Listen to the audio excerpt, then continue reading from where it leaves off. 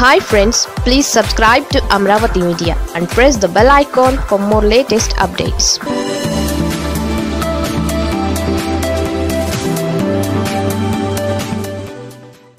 Lokesh పాదయాత్రకు ఆ ఇరవై తొమ్మిది షరతులు ఇవే. నారా లోకేష్ యువగళం పాదయాత్రకు పోలీసులు అనుమతి ఇచ్చారు. అయితే సవా లక్ష కండిషన్లు పెట్టారు.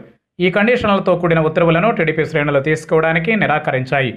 లోకేష్ యాత్రలో నిబంధనలను ఖచ్చితంగా పాటించాల్సిందేనంటున్నారు పోలీసులు. మొత్తం ఇరవై తొమ్మిది కండిషన్లతో కూడిన ఉత్తర్వులు పోలీసులు సిద్ధం చేశారు. పాదయాత్రలో ప్రజలు వాహనదారులు ఎమర్జెన్సీ సర్వీసెస్ రాకపోకలకు ఎలాంటి ఆటంకాలు కలిగించకూడదు. బహిరంగ సభల సమయాలకు కట్టుబడి ఉండాలి.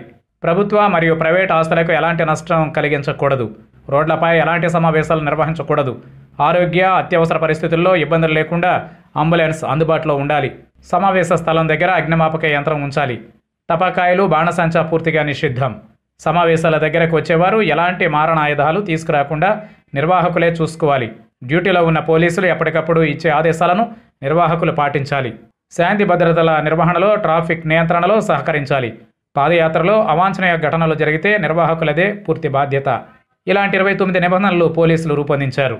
కుప్పంలో ఈ నెల ఇరవై ఏడు నుంచి లోకేష్ యువగళం యాత్ర మొదలవుతుంది.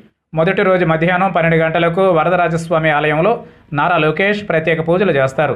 కుప్పంలో మహాత్మా గాంధీ అంబేద్కర్ పొట్టి శ్రీరాములు ఎన్టీఆర్ విగ్రహాలకు పూలమాలలు వేసి నివాళులు అర్పించిన అనంతరం యాత్ర కొనసాగిస్తారు.